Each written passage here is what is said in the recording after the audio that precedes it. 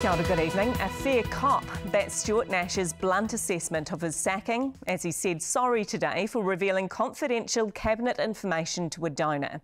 Now it's revealed the Prime Minister's office knew about the email for two years when it was uncovered as part of an official information request.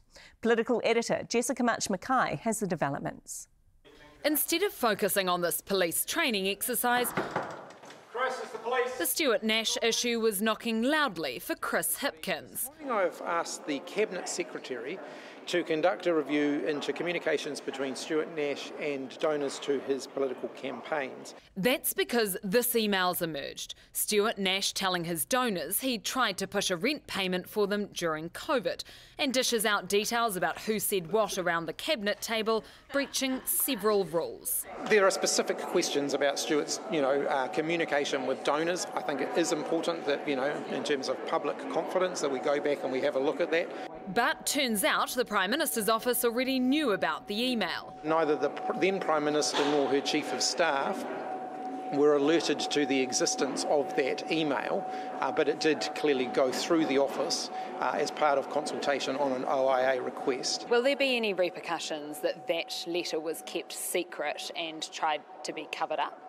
I don't think it was it tried to be covered up. My understanding is that it just wasn't within the scope of the request. The news rippling around the debating chamber. How can Kiwis believe they're getting a fair hearing from this government when Labor donors get special access to ministerial decision making?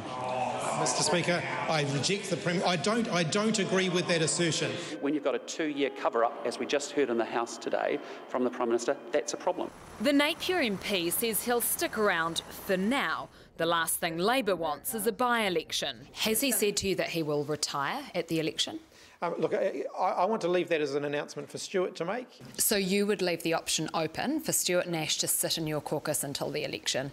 Um, I, at this point, uh, I'm not indicating that that's not a possibility. Stuart Nash took to Facebook to apologise.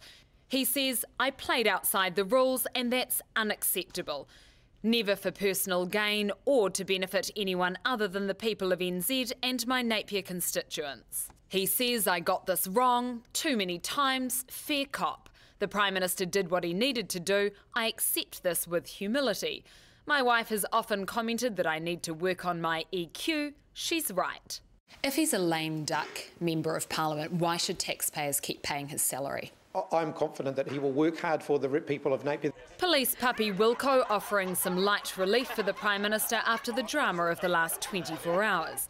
Perhaps Chris Hipkins feels the same way about the Stuart Nash saga. We'll bring in Jessica Mutch McKay now. Jess, you've been talking to Stuart Nash today. What's he had to say?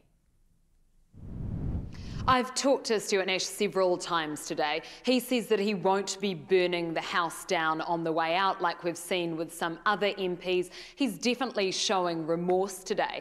I think with Stuart Nash, one of the things that makes him a good MP is also what's getting him in trouble in this instance. He wants to be mates with everyone. He wants to be seen as a bit of a big shot. He wants to be seen as a big player. It doesn't seem like there's a whole lot of malice and calculation here, but it's a very blatant obvious breach of the cabinet rules. Those rules are really important for making sure that everything above board, and actually they're really not that complicated to understand. Jess, one of the big questions left, uh, his political future. Did he say anything about that?